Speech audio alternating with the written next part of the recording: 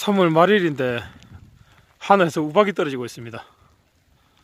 아직까지 풀도 안 자라고 뭐 가을 겨울 느낌이네요.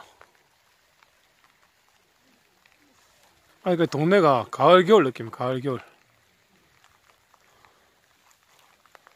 한창 집 짓는 공사 중입니다.